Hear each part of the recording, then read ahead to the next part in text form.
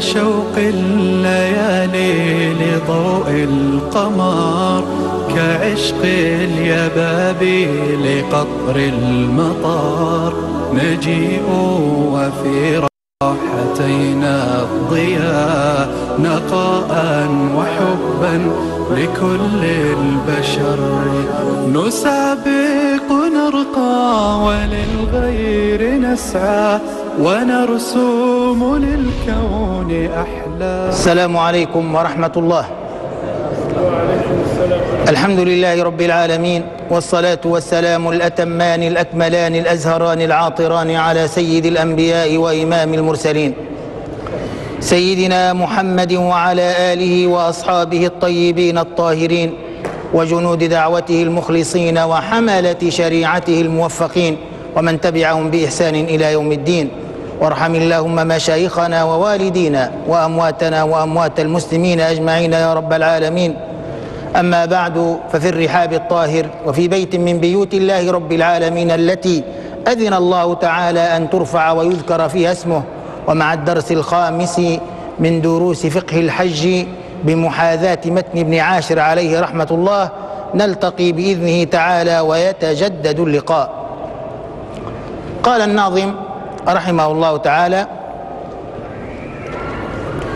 إن جئت رابغا تنظف واغتسل كواجب وبالشروع يتصل والبس ردا وأزرة النعلين واستصحب الهديا وركعتين بالكافرون ثم لإخلاصيهما فإن ركبت أو مشيت أحرما بنية تصحاب قولا أو عمل كمش أو تلبية مما اتصل وجددنها كلما تجددت. حال وإن صليت ثم إن دنت. مكات فاغتسل بذي طوابلا دلك ومنك دثنية تدخلا. إذا وصلت للبيوت فاترك. تلبية وكل شغل واسلك. للبيت من باب السلام واستلم. الحاجر الأسواد كبر وآتم. سبعة أشواط به وقد يسر. مكبرا مقبلا ذاك الحجر. مقبلا مكبرا ذاك الحجر. اللي بعدها متى هذه كذا اليمان لكن ذا باليد خذ بياني. إن لم تصل للحاجر المس باليد وضع على الفم وكبر تقتدي. ألا بعدين درس آخر إن شاء الله. وارمل ثلاثا وامشي بعد أربعة خلف المقام ركعتين أوقع. هذا الدرس الجاي إن شاء الله تعالى. إذا إذا وصلت للبيوت فاترك تلبية وكل شغل واسلك للبيت من باب السلام واستلم الحاجر الأسواد كبر وآتم سبعات أشواط به وقد يسر مقبلا مكبرا مقبلا ذاك الحجر متى تحاذيه كذا اليمان لكن ذا باليد خذ بياني. إن لم تصل للحاجر المس باليد وضع على الفم وكبر تقتدي. وقفنا أمس عند ركعتي الإحرام. هل للإحرام نافلة؟ هل للإحرام ركعتان؟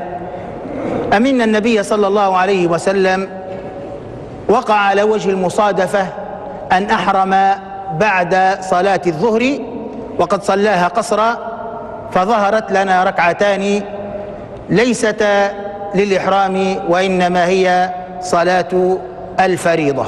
توافق أن أحرم النبي صلى الله عليه وآله وسلم بعدها. جمهور العلماء حكى الاتفاق الإمام النووي عليه رحمة الله أنهم يقولون إن للإحرام ركعتين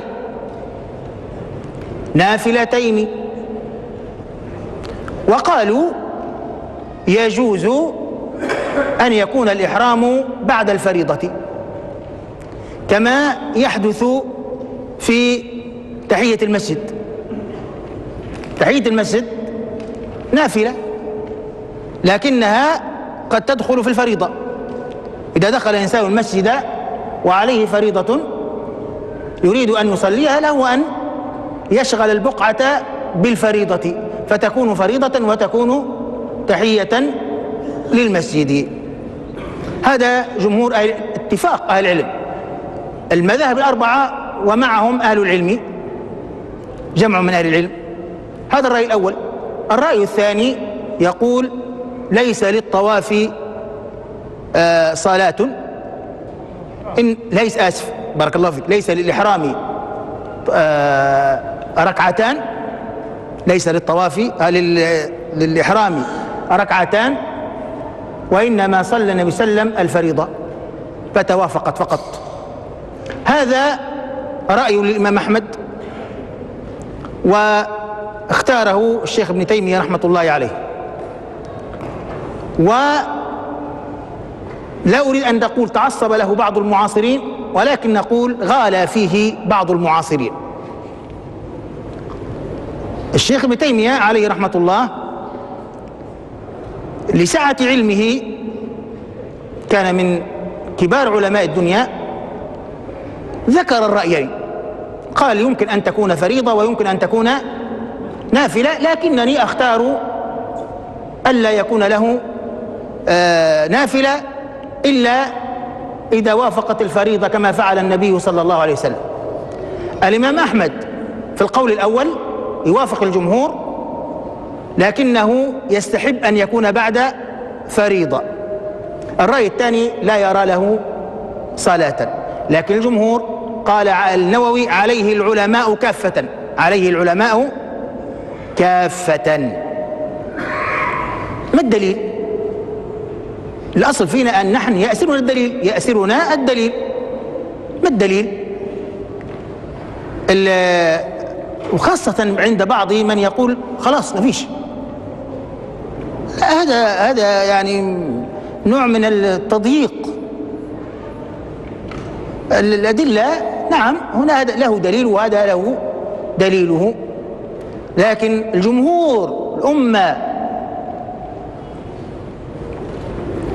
من قال لل لل للإحرام نافلة تصلى قبله أقلها ركعتان قلنا ما أخرجه الإمام مالك في الموطأ من حديث هشام هشام بن عروة عن أبيه. من أبوه؟ عروة بن الزبير. عروة الحديث هو؟ من حديث عروة من طريق هشام.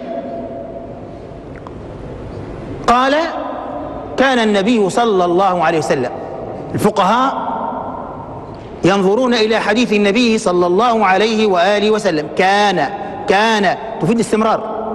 كان صلى الله عليه وآله وسلم يصلي في مسجد ذي الحليفة ركعتين. كان يصلي بمسجد أو في مسجد ذي الحليفة ركعتين. فإذا استوت به راحلته أهل. فإذا استوت به راحلته أهل. صلى الله عليه وآله وسلم. قال العلماء عند إطلاق الركعتين وما قالش كان يصلي مثلا الفريضة والظهر أو العصر ركعتين. قالوا عند الإطلاق تكون الركعتان أو آه تحمل الركعتان على النافلة. عند الإطلاق عندما أطلقت ركعتان هي رك هما ركعتان تكون لماذا؟ للنافلة. هذا من حيث الفقه. قالوا إن الحديث مرسل. نقول نعم. وابن عبد البر قلنا اللي شرح الموطأ أفضل شرح. إلى الآن في التمهيد وفي الاستذكار. قال لم يختلف الرواة عن مالك في إرسال هذا الحديث. مرسل. قلنا المرسل من المنقطع خاصة عند المحدثين. ويحتج به الفقهاء. لكن ابن عبد البر وصل هذا المرسل. تعلمون مرسلات مالك وصلها ابن عبد البر. إلا أربعة وصلها ابن الصلاح. وصله من أحاديث صحيحة عن ابن عمر وعن أنس. فتقوى الحديث كلمة كان. نحن نتساءل الآن ونقول يا علماء يا فقهاء كم مرة أحرم النبي صلى الله عليه وسلم من ذي الحليفة؟ والجواب ثلاثة. والجواب ثلاث مرات. ثلاث مرات. الأولى في الحديبية. الأولى في الحديبية. والثانية في عمرة القضاء أو القضية. والثالثة في حجة الوداع حجة الإسلام.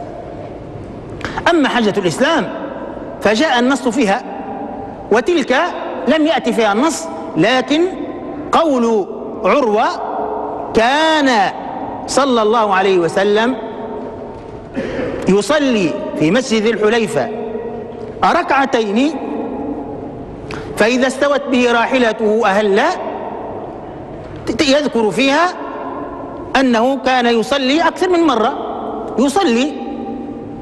فأن كأنه رآه فعل ذلك في هذه المرات الثلاث. في هذه المرات الثلاث. هذا الذي جعل الجمهور يقولون إن للإحرام ركعتين. إن للإحرام ركعتين. أو كان للإحرام ركعتان. طيب. وهناك حديث آخر خرجه البخاري من حديث عمر يقول صلى الله عليه وسلم صلي قال أتاني آآت النبي صلى الله عليه وسلم كل وحي. فقال صلي في هذا الوادي المبارك في هذا الوادي المبارك. بعض أهل العلم قال لك الآن أراه الصلاة في ذي الحليفة حتى ولو صليت غير الفريضة فهي مقصودة لهذا المكان. هذا المكان. بمعنى إذا أحرمت من رابغ فلا تصلي إذا أحرمت من ذات عرق فلا تصلي إذا أحرمت من قرن المنازل فلا تصلي إذا أحرمت من يلملم فلا تصلي.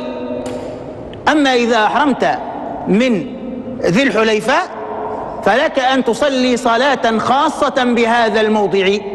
لقوله صلى الله عليه وسلم أتاني آت إلى آخر الحديث يقول صلي في هذا الوادي المبارك في هذا الوادي المبارك.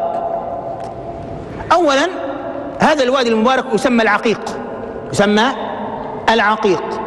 العقيق هذا قريب من البقيع هو ما بين المدينة وما بين ذي الحليفة. فليس هو بذي الحليفة. هذا واحد. اثنين قال العلماء هذا إشارة إلى أن هذا المكان فاضل. ربما إلى فضل الصلاة فيه أو إلى فضل آه، العبادة فيه كما هي في آه، مثلا في قباء. تعلمون أن من الأمور المشروعة للمعتمر أو للحاج إذا دخل المدينة أن يصلي بمسجد قباء وبمسجده صلى الله عليه وسلم. كذلك هذا فيه فضل في هذا المكان اللي هو وادي العقيق. فينسحب البساط تحت من يريد أن يجعلها خاصة يعني بمن أحرم من ميقات أهل المدينة من ميقات أهل المدينة. الأمر في النهاية محتمل. ولذلك قال بعض أهل العلم حتى من المتأخرين مثلا الشيخ ابن عثيمين رحمة الله عليه يقول من صلى فلا ينكر على من لم يصلي ومن لم يصلي فلا ينكر عليه من صلى. هكذا يتسع العلم. لكننا نرى الآن بعض الإخوة آه، يتصدون للناس لا تصلي لا تصلي لا تصلي آه، نبئهم عن كذا علمهم كذا. وكأنها يعني أمر النص. تعلمون أن في أصول الفقه تدرسون الأصول أنتم؟ أن قد يكون من النص وقد يكون من الظاهر وقد يكون من من التأويل. النص هذا هذا ما فيش. ما في فاجلدوهم ثمانين جلدة.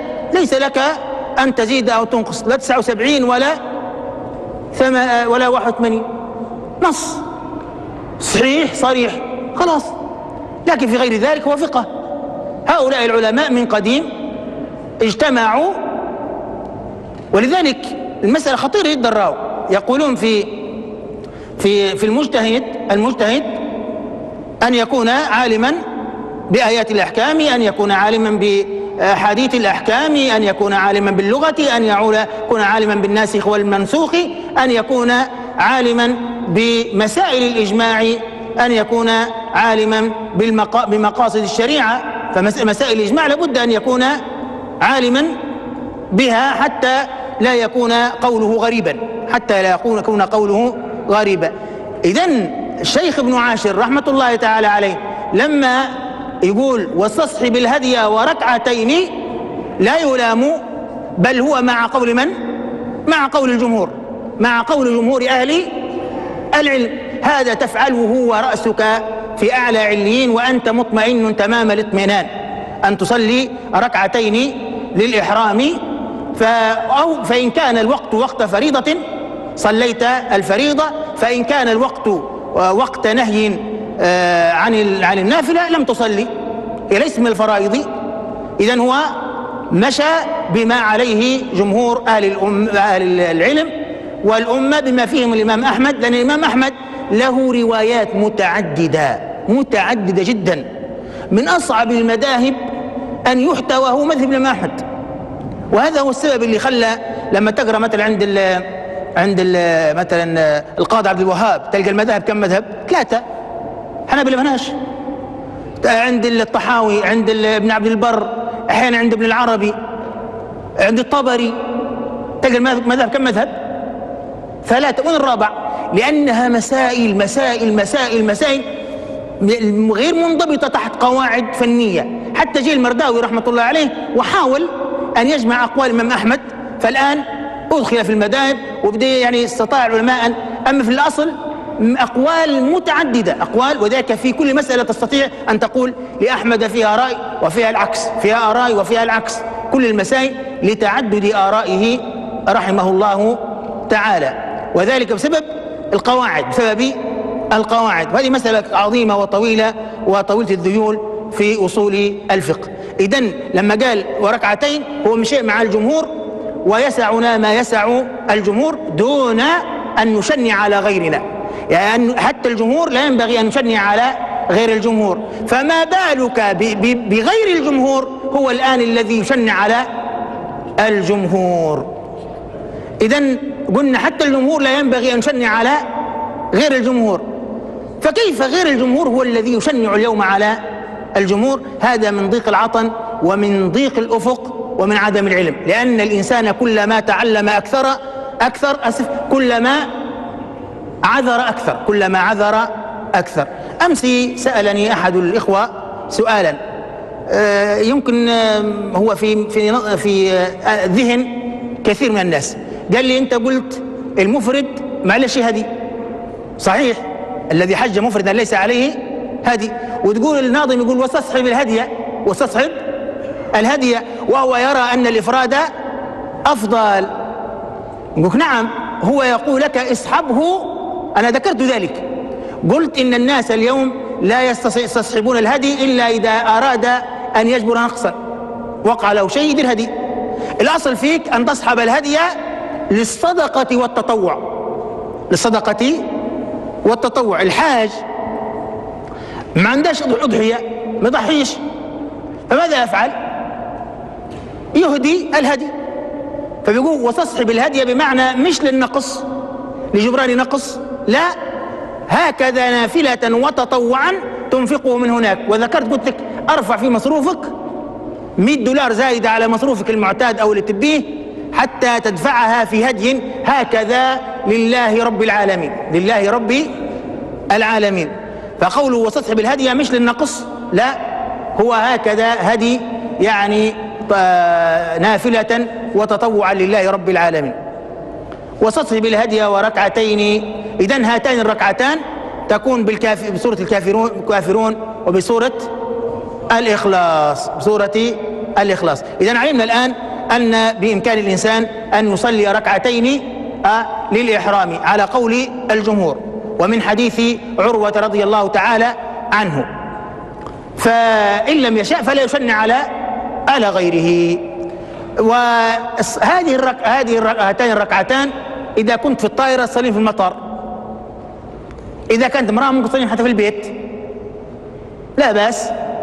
وبعد ذلك تحرم في الطائرة إن شاء الله تعالى. بالنسبة ليذهبون في الطائرة. آه بالكافرون ثم لإخلاصهما فإن ركبت أو مشيت أحرما.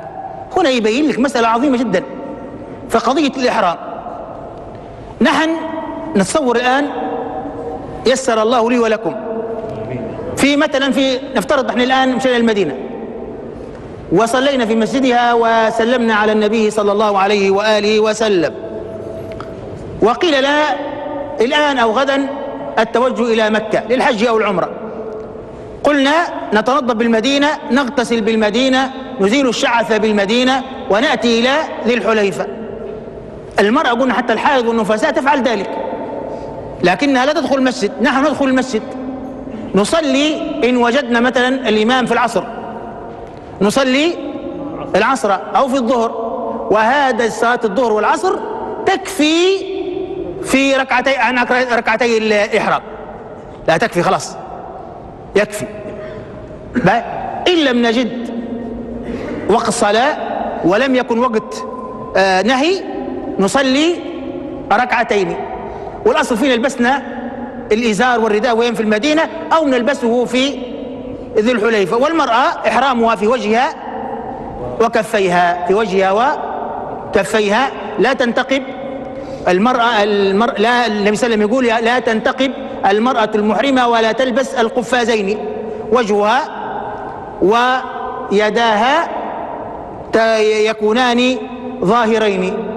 لكن أنبه إلى أمر. بعض النساء تقول لك أنا من بيش وجهي يشبه الرجال نقول هل هذا لك ذلك؟ لك ذلك. غطي وجهك. لكن المسألة كيف؟ كيف تغطين الوجه؟ الوجه في للمرأة إذا أراد أن تستره حشمة. قال الفقهاء أما إن قالت أخاف الشمس على وجهي يقول لا. للحر للبرد لا. لكن للحشمة ما تبيش يشبهها الناس فنقول لها تستطيعين أن تستري وجهك ولا شيء عليك لكن الطريقة كيف؟ أن تنزل شيئا من على رأسها على وجهها. تنزل من فوق على وجهها. يظل نازل زي ستار على وجه في شيء هذا. لكن لو ربطته رباط عادي وعقدته فعليها الإثم والفدية. فعليها الإثم وعليها الفدية. لكن لو أنزلته من أعلى شيء يدرج حتى على الوجه؟ زي ستار قلت لك من على رأسها ينزل على وجهها. يعني إذا أردت أن تشبه تقول لك تنهض وتنزله هذا لا شيء فيه. وسيذكره الناظم بعد ذلك. وسيذكره الناظم إن شاء الله وإيه؟ بعد ذلك. إذا صلينا الركعتين وكنا لابسين الإزار والرداء خرجنا. متى نقول لبيك اللهم عمره أو حج آه؟ قال فإذا استوت به راحلته أهل.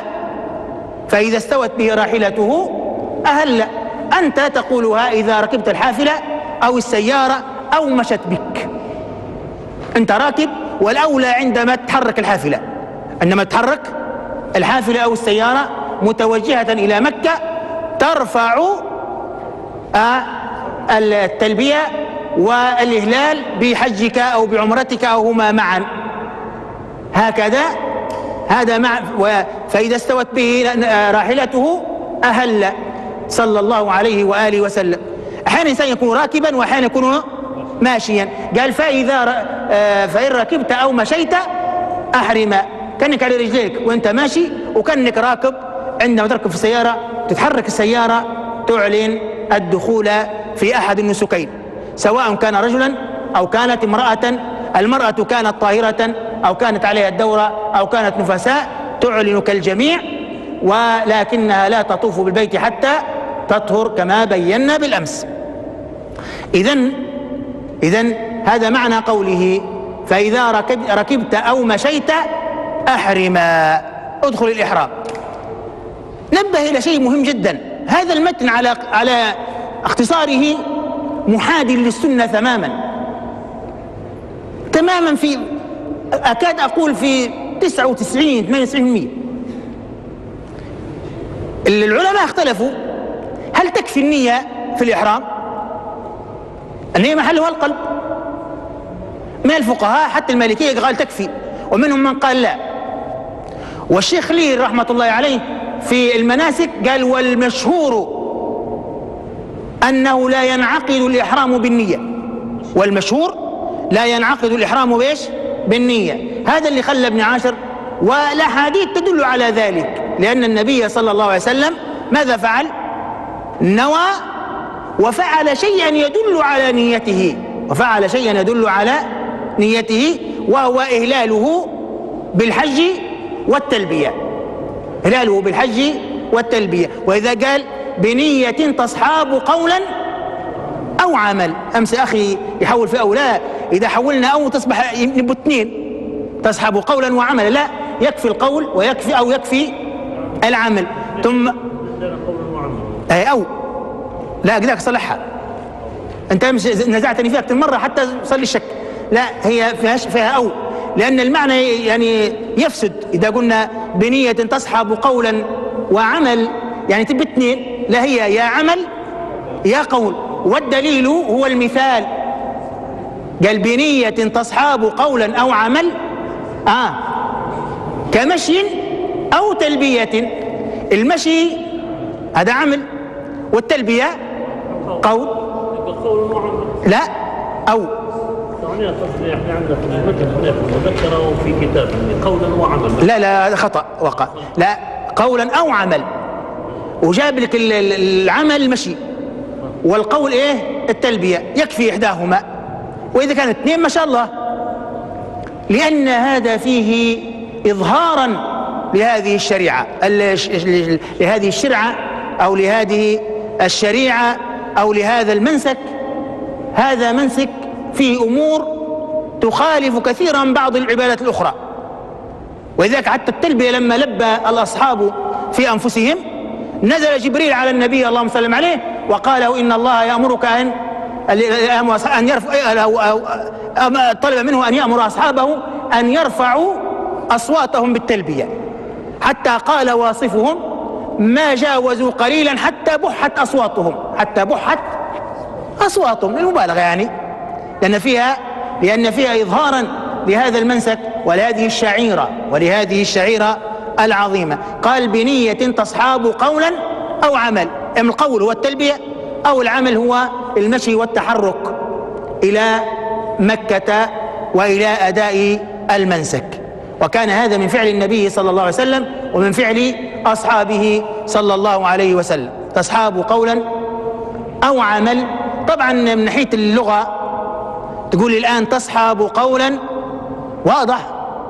أو عملا تصحاب قولا أو عملا لماذا قال عمل؟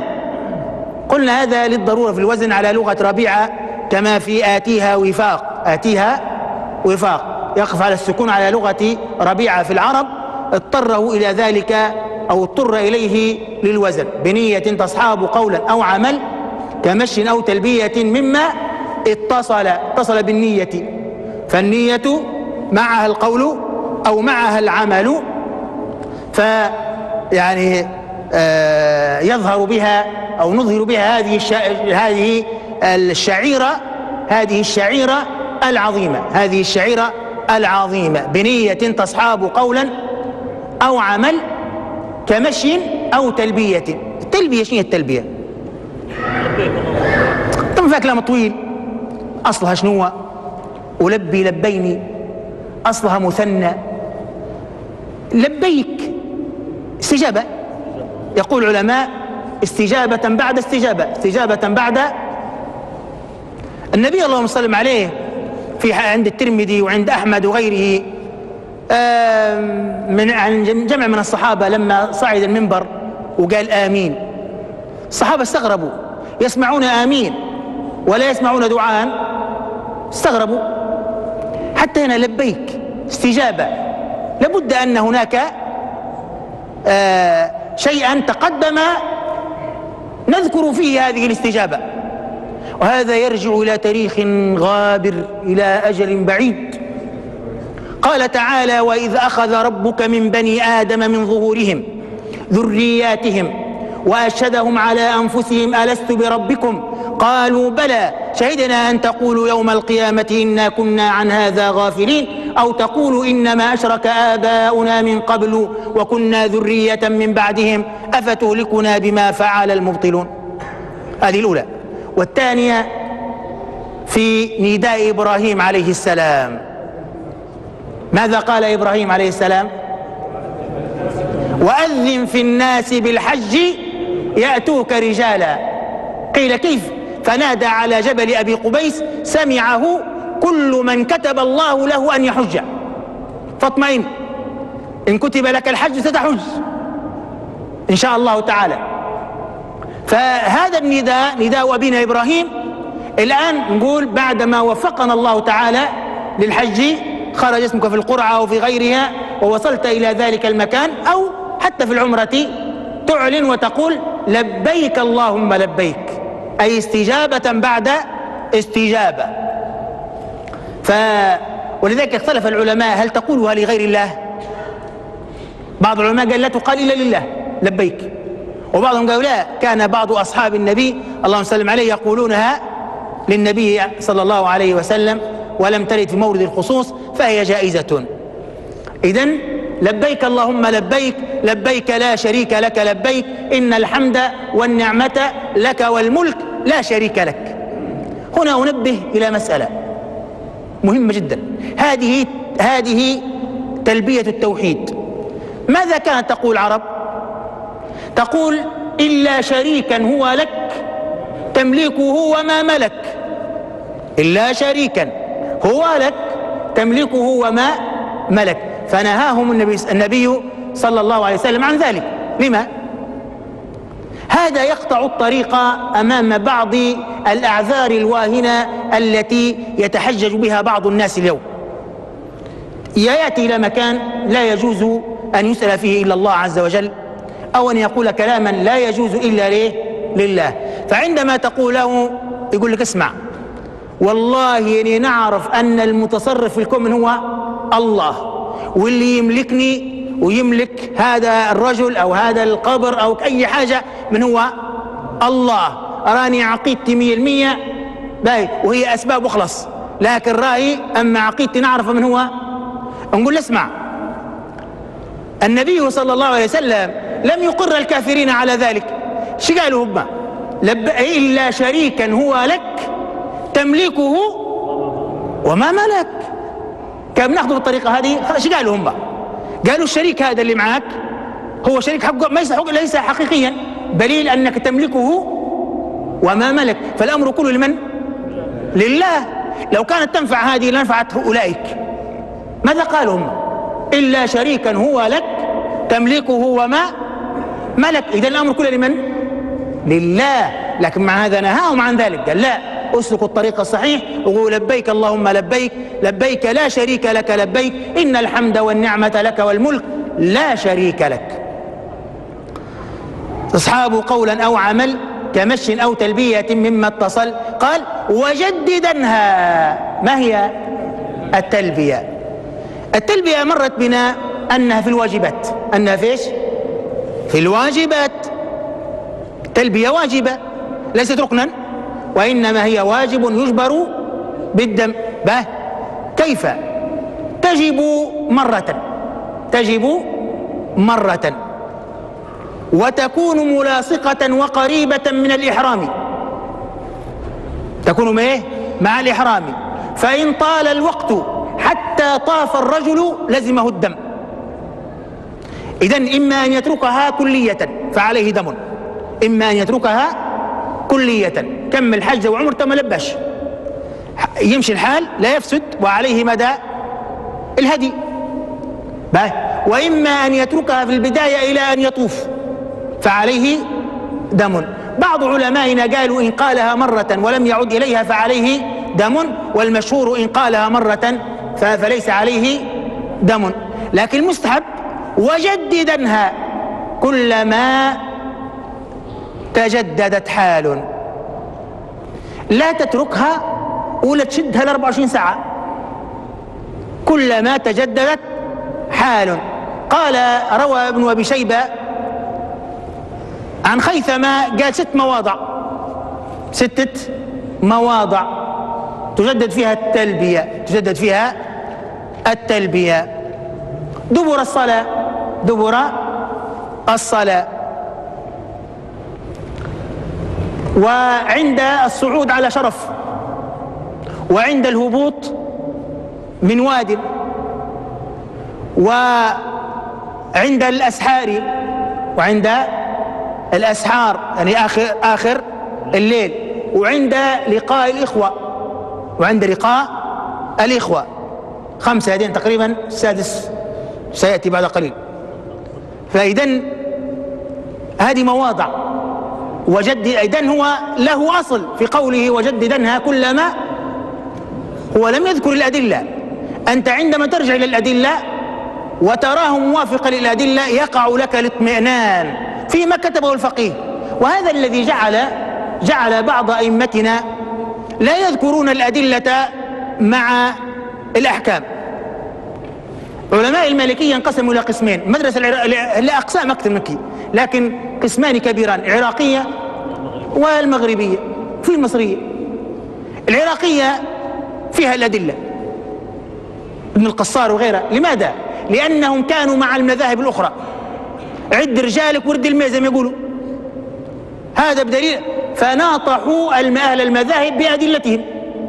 في المغرب العربي لم يكن مذهب يزاحم المذهب المالكي فلم يحتاجوا إلى ذكرها مع النصوص وإنما ذكروها نصوصا للحفظ ومن أراد الأدلة طلبها في مظانها أن تأتي للكتاب وتنظر إلى أدلته فإن وجدته موافقا في في أغلبه أو في معظمه وقع الثقة بالمؤلف كما وقعت ثقتنا الآن بإيش؟ بالناظم ابن عاشر عليه رحمة الله تعالى وأنه يتبع السنة بل يتتبع الراجح منها بل يتتبع قول الجمهور وجددنها كلما تجددت حال. وإن صليت أي وإن صليت فجددها. لأن الشرط يحتاج إلى جواب. الشرط يحتاج إلى جواب. بعضهم قرأها وأن صليت. إذا قرأها وأن صليت فتح النون فتح الهمزة لا تحتاج إلى إلى جواب. لكن المشهور هي بالكسرة.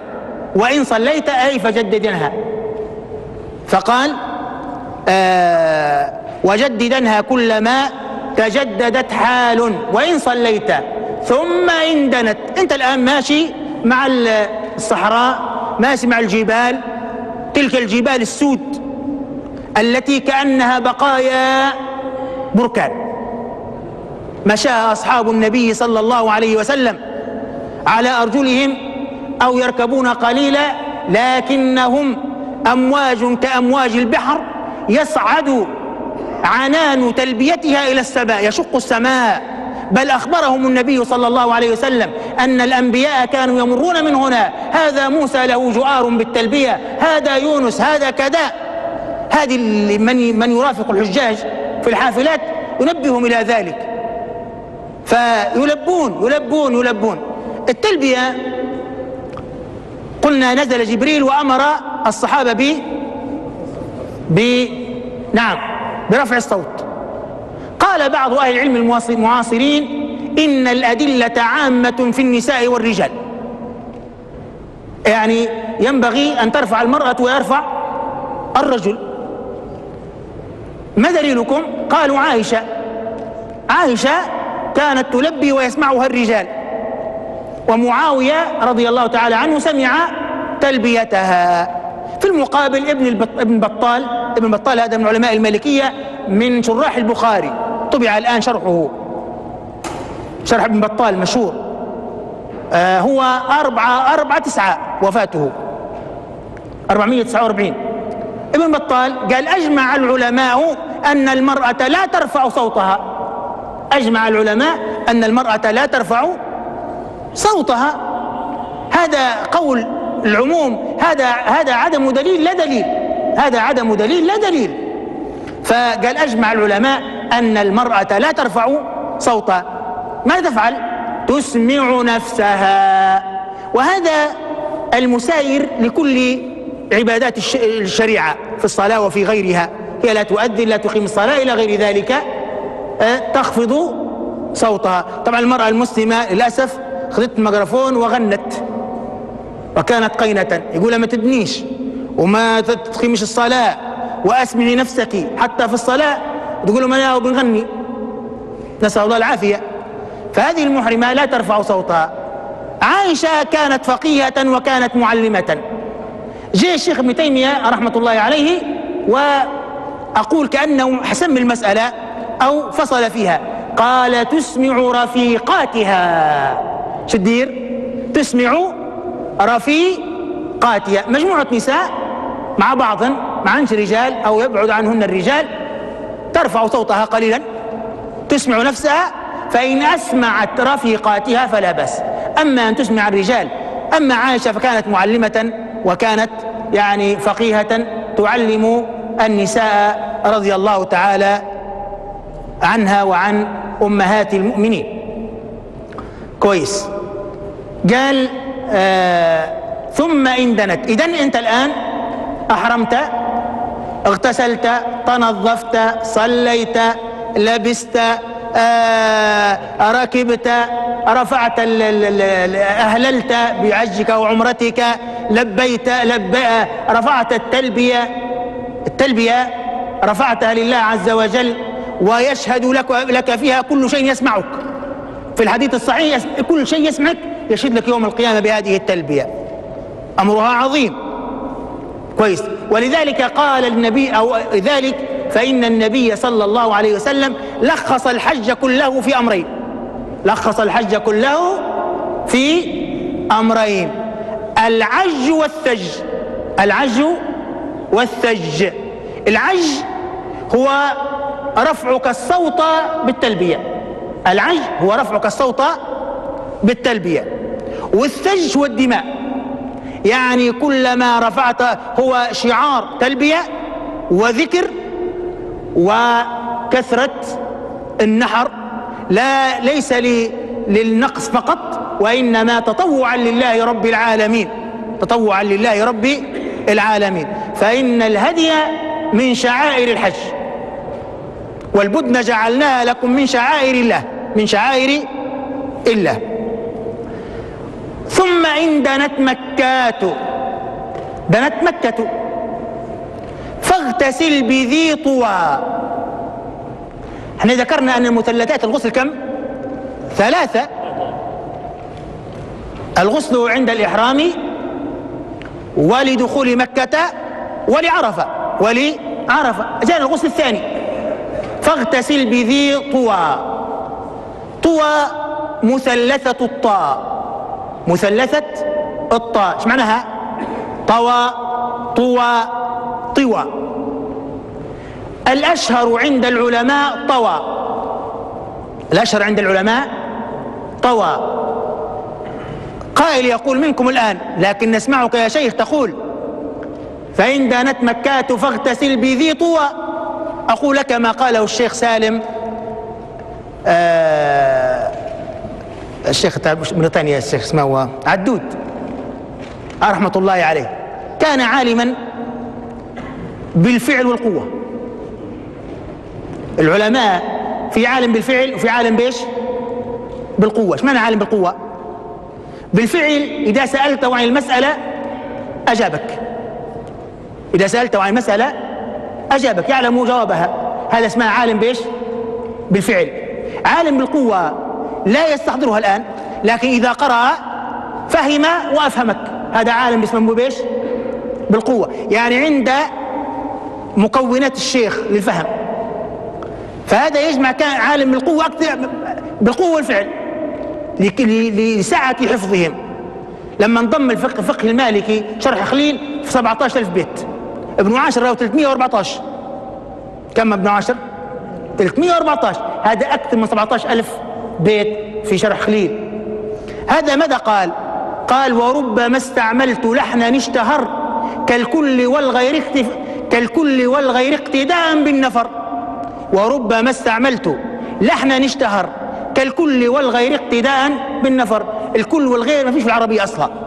كل والغير. لكن استعملت الآن قال نستعملها. فنقول الآن الناس سهر بناتهم شهر عندهم طوى فنقول ما دام هي جائزة فنقول طوى. هذه عين مية أو مكان قبل مكة. الآن مستشفى قالوا ولا مستشفى الآن؟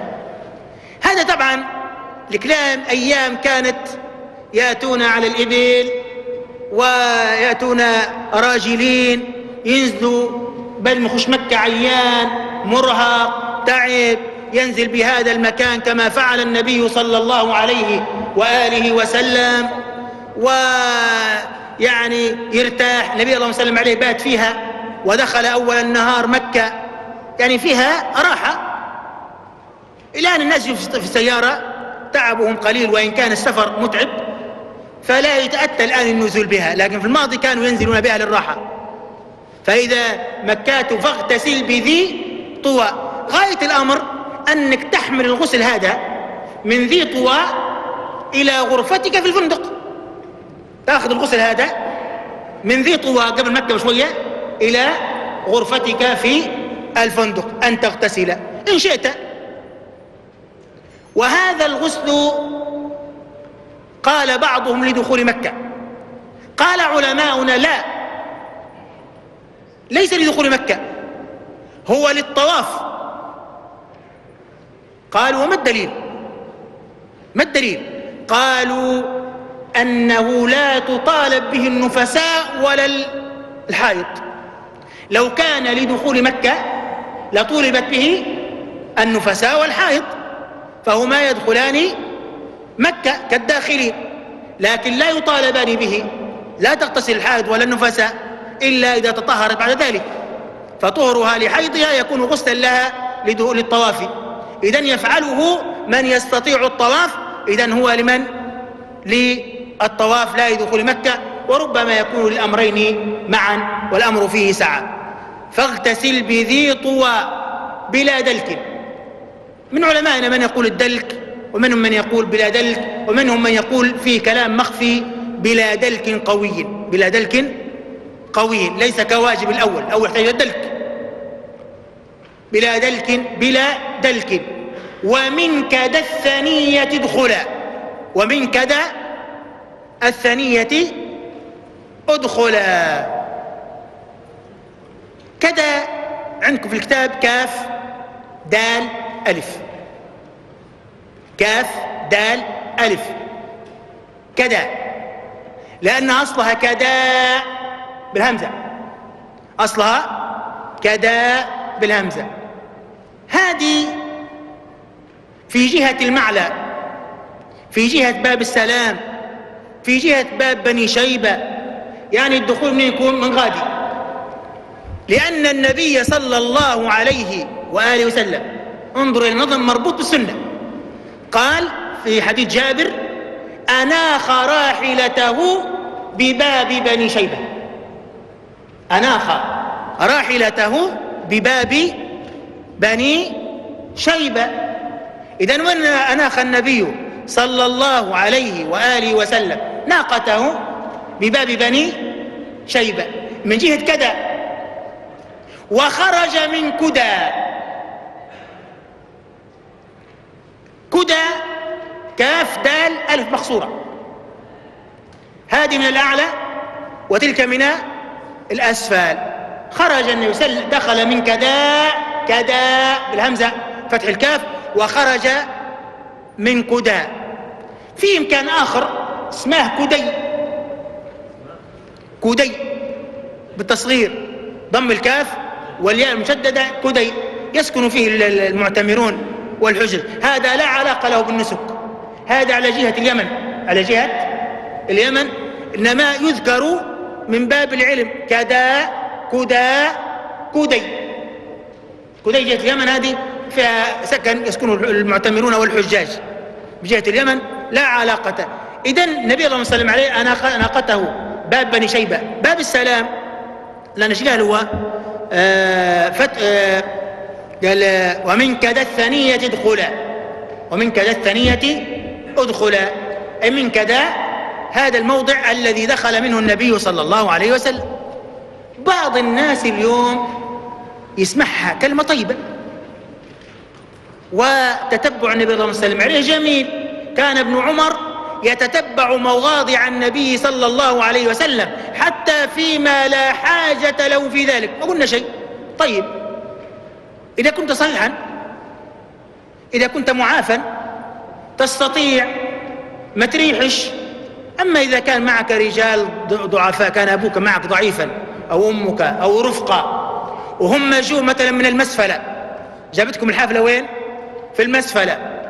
والله في غزة مثلا. والله في جهات جهة إبراهيم الخليل. بالعكس يعني. تقوم رجل هاي نرفعكم من غد. يمشوا يمدوا سنتهم هو قدامه سعي وقدامه طواف. يقول لك والله ما جعل عليكم في الدين من حرج. صحيح أنت وتنط برا. ربي يعينك. لكن إذا كان معك حد مرهق لا. ما الدليل؟ قوله صلى الله عليه وسلم. في صحيح مسلم كل فجاج مكة طريق ومنحر. كل فجاج فجاج مداخل وفتحات. كل فجاج مكة طريق ومنحر. تنحر فيها وتدخل منها. اختار النبي هذا المكان. نعم. لماذا؟ لأن هذا المكان أنسب مكان تدخل منه أو أقرب مكان تدخل منه للحجر الأسود. أقرب مكان تخش منه يقابلك الحجر الأسود هو هذا المكان. فاختياره كان لحكمة لكن لمن استطاعها جاء موافقة سكناه بجانبها. كان صحيحا كان يستطيعه نعم. فإن كان ضعيفا أو معه ضعفاء لا يرهقهم. بل يأخذ بالرخصة وبالتيسير كل فجاج مكة طريق ومنحر. فادخل من أيها شئت.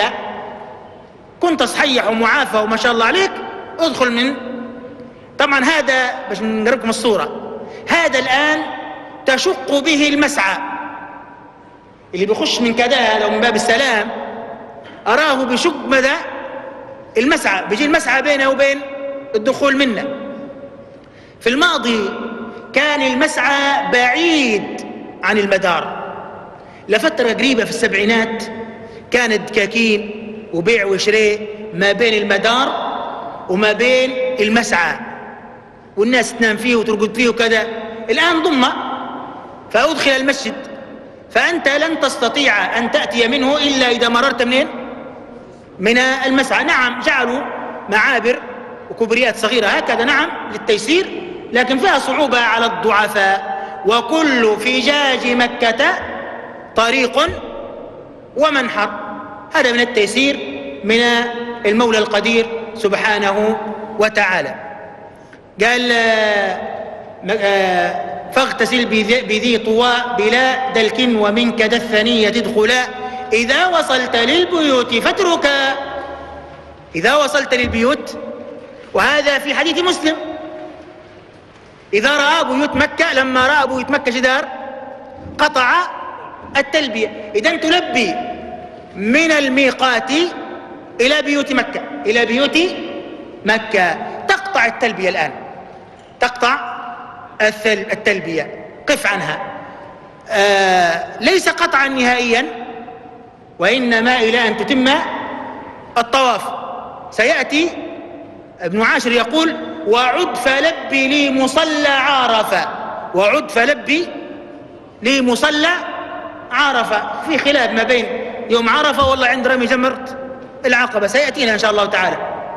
الآن قال اترك التلبية. إذا وصلت للبيوت فاترك فاترك أصلا فاتركا تلبية وكل شغل واسلك. للبيت من باب السلام. انتبهوا معي والله إذا رأيت الحرج والتعب والنصب في صلاتك في صومك في حجك فليس فالله ورسوله بريئان منه. إنما هو من جهلنا. الشريعة يسر وتيسير. ماذا يفعل بعض الناس اليوم؟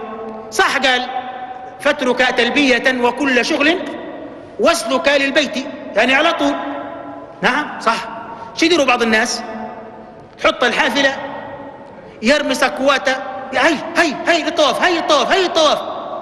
والله فيه اللي شيباني والله عجوز ماخذيه حبة السكر متاعها يطوف طوفتين وبعدين يمتد. بدل ما يتم طوافه يسبح في المستشفى ويسبح كذا وتنقلب ساعة من أصفى ساعات الدنيا إلى ألم. لماذا؟ في اللي يريح فلوسه. في اللي لما جاي عند أبوه كبير يبي كروسة بالإيجار في الطواف ولا في السعي قال لي ما صرفتش. خيرك ما صرفتش. قال ما قالوا لي طول للحرم نقول لك طول الحرم بعد الضروريات. فاسلك يعني امشي بعم لا تتأخر بدون موجب. ما زال اللقاء مستمرا إن شاء الله تعالى مع شيخنا ابن عاشر عليه رحمة المولى القادر. ألقاكم بإذن الله تعالى ويتجدد اللقاء. عسى الله تعالى أن ينفع أنفعنا بالعلم وأن يحفظ البلاد والعباد. إنه ولي ذلك والقادر عليه. وصلى الله على سيدنا محمد وآله وصحبه وسلم. وآخر دعوانا الحمد لله رب العالمين. كشوق الليالي لضوء القمر كعشق اليبابي لقطر المطار. نجيء وفي راحتينا الضياء نقاء وحبا لكل البشر. نسابق نرقى وللغير نسعى ونرسوم للكون أحلى الصور.